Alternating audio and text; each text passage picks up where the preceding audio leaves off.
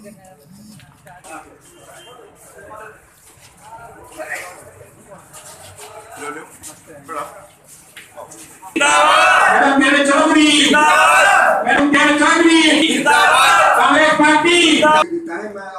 जोड़कर प्रार्थना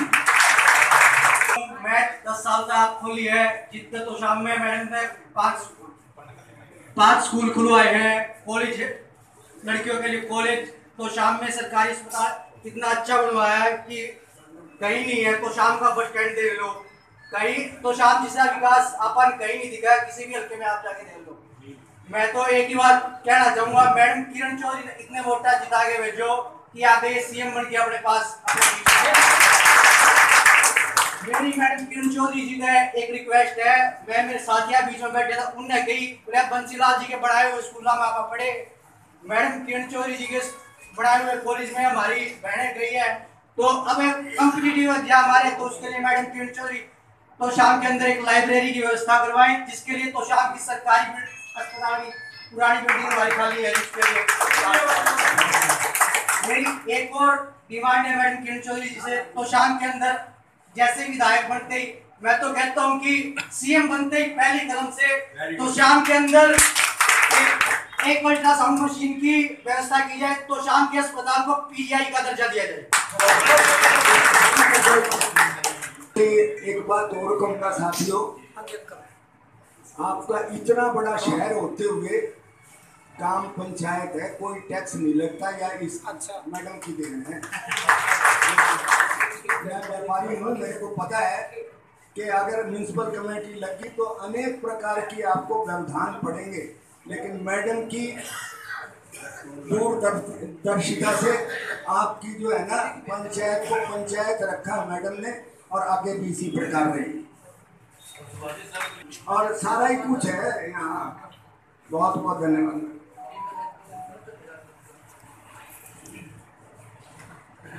हमारे बीच में हमारे बहुत ही माननीय एक्स मिनिस्टर सुभाष गोयल जी इनका मैं तय दिल से धन्यवाद करती हूँ। कि अपने आप ये सारी जगह जा जा के लगे हुए हैं। तो बहुत बहुत आपका शुक्रिया जी।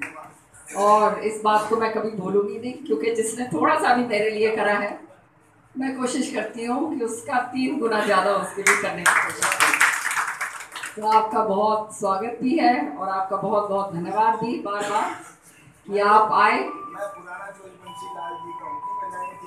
तो सारे, वैसे एक बात मैं जहाँ जाती हूँ, चौधरी बंसीलाल जी, वो कहते ना, जैसे एक फाउंटेन थे, उसके अंदर से फूट फूट के सारे निकले। सच्चाई ये है पूरा भिवानी ज़िले के अंदर बहुत सारे पूरे हरियाणा के अंदर भी बहुत लोग मुझे मिलते हैं, और बड़ी खुशी होती है। और जब अच्छे लोग अपने पास आ जाएँ तो ये हमारा सौभाग्य और और भी अच्छा जो है, आप समझ, जानती हूँ मैं कि आगे फिर बढ़ोतरी होती है। तो सुभाष जी जैसे आए हैं, व्यापारियों की जो बात रखते हैं, सारी बात समझते हैं, मंत्री रहे हुए हैं। तो आने वाले समय में भी सुभाष जी, ये आपकी बहन आपके साथ पूरी लट बढ़ की खड़ी होगी, फ़िक्र ना बाकी जय कुमार जी हैं, सारे यहाँ पे मेरे व्यापारी भाई जितने भी हैं, आए हो, सबका मैं तय दिल से धन्यवाद करती हूँ। आप लोगों ने बहुत मान सम्मान मुझे हमेशा दिया है। और अभी ये बेटा कह रहा था, मैं जब यहाँ पे मंत्री थी, उस समय मैंने छः महीने के भीतर भीतर ये खाका तैयार कर लिया था, जो आपको मैंने करके सारा काम दिया। और ये सच्चाई है जय कुमार जी बता रहे थे जो, आपका म्यूनिसिपल कमेटी बन गई। थी उसको दोबारा से आपको पंचायत के अंदर इसलिए डाला, क्योंकि मुझे मालूम था।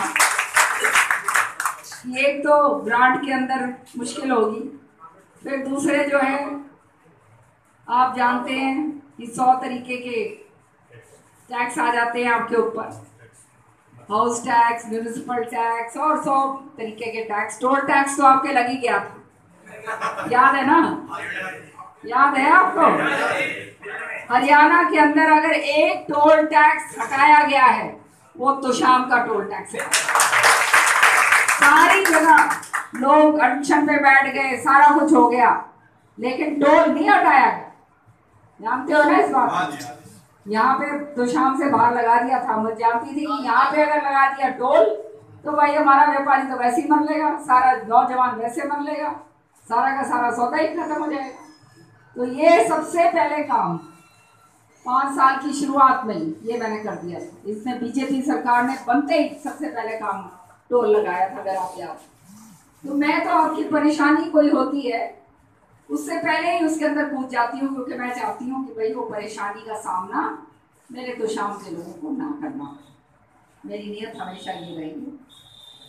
और अभी बेटे ने बात कही कि यहाँ पे बेड हॉस्पिटल का अल्ट्रासाउंड और उसका तो भाई ये हॉस्पिटल भी मैंने इसी इसलिए बनाया था कि आप लोगों को जो प्राइमरी जो चिकित्सा जिसको कहते हैं, वो आपको यहाँ पे मिले, उसका आपको हेल्थ केयर सारा मिले, आपको बेड यहाँ पे मिले। क्योंकि आजकल आपने देखा है, बहुत सारी, बहुत परेशानी होती है हमारे, जो है, कोई बीमार हो जाता है उसको।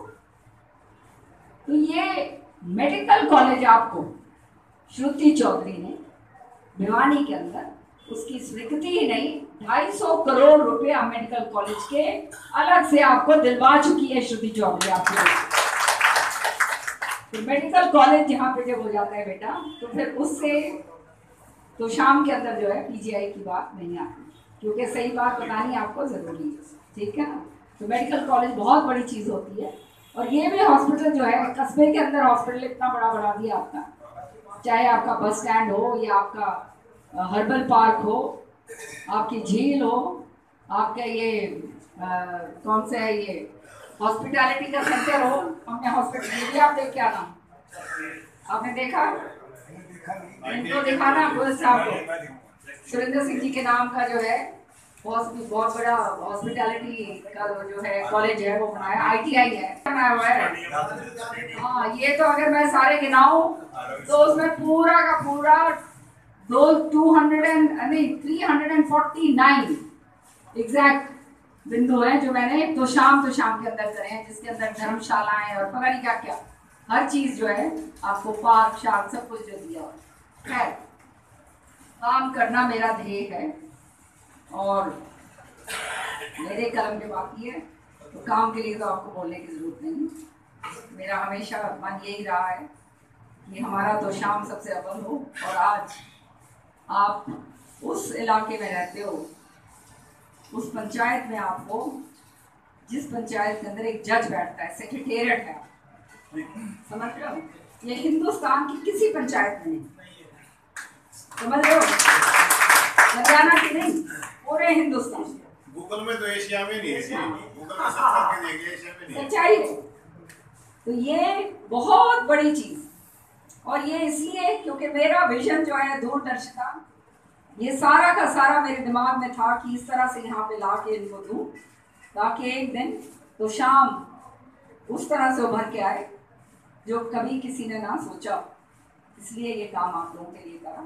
छत्तीस बिरादरी का बराबर से सबका काम किया है।